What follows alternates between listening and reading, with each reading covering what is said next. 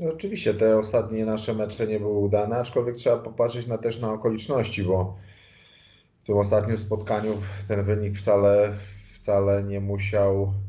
yy, paść taki, jaki padł, bo, bo przebieg meczu, meczu nie, nie, nie wskazywał na to, poza tym, że trochę mieliśmy też problemów kadrowych. Poprzedni nasz mecz był po, bezpośrednio po awansie, więc wiadomo, że, że trudno nam było gdzieś zebrać i siły i te fizyczne i mentalne po, po wywalczeniu tego awansu. Dlatego teraz tak naprawdę mamy, mamy mecz y, z ŁKS-em, do którego no będziemy tak w pełni przygotowani, gotowi na 100% i wierzę, że, że tym razem to my będziemy górą, choć nie jest to łatwy przeciwnik, mimo tego, że zamyka tabelę, to ma swój styl. Gra po prostu dobrze, natomiast no, często nie przynosi to efektów y, w postaci punktów.